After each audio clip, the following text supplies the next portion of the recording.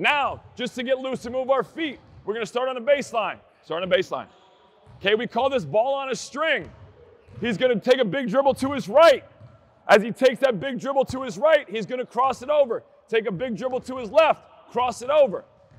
For the sake of the video, we're just gonna go to half court today, okay? So he's gonna start low, okay? He's gonna dribble to his right, big dribble, cross it over, cross it over, cross it over.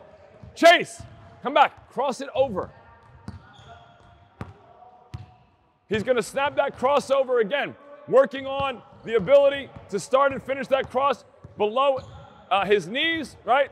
Now we're connecting some of the stuff we did on the baseline to some, come back with the crossover. Good. Hit, snap it, cross, snap, snap, right? Snapping that crossover as if we're being guarded in the full court, right? We're pushing that basketball out, making our defender try to move fast in one direction and snapping that crossover low, changing direction hard. So we would go all the way down the court and all the way back, all the way up your driveway, all the way back, whatever that is for you.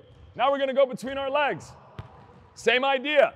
Boom, between the legs, between the legs, between the legs, between the legs. Again, trying to get away from our defender. One move and go by. We're trying to connect the ball handling skills that we did stationary. We're trying to add some footwork to it so we can continue to improve and get better. Okay, now we're gonna go behind the back. All right, that's okay, right? Sitting right over that ball, eyes are up, he's staying low, protecting the basketball, handling pressure, right? Being able to make some moves in the open court. We call this, like I said, ball on a string. Ball on a string, okay?